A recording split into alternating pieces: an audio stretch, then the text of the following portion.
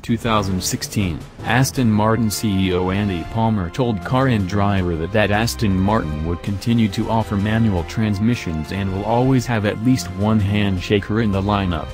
For the keepers of the dying manual light, it's been a long wait since the V12 Vantage S went out of production last year, but dawn will break over Gaydon in summer 2019. Aston Martin chief engineer Matt Becker told Road and Track at the Goodwood Festival of Speed that there'd be a stick shift in the V8 Vantage by this time next year. That might seem like a long wait when there are already prototypes on the road, but the small company has a large engineering job. The Mercedes-AMG 4.0-liter twin-turbo V8 sitting in the Vantage's engine bay has never been paired with a manual gearbox, so Aston Martin has to create the software and the driveline hardware from scratch to make it work. On top of that, the company wants to make sure the package delivers the thrills the row your own crowd seeks. Becker said the car won't be a pushover, tuned so that it reminds you that you have to know how to drive.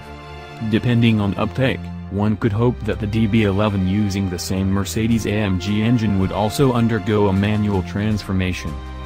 Road and Track didn't get the details on what kind of transmission we could expect.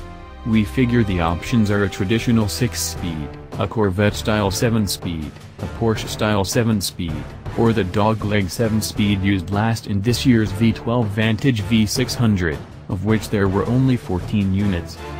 Speculation on product plans puts the manual transmission first in the V8 Vantage pipeline, followed by a Vantage Roadster and a V12 Vantage. Other models will certainly fill out the portfolio, Becker saying this first Vantage is the starting point.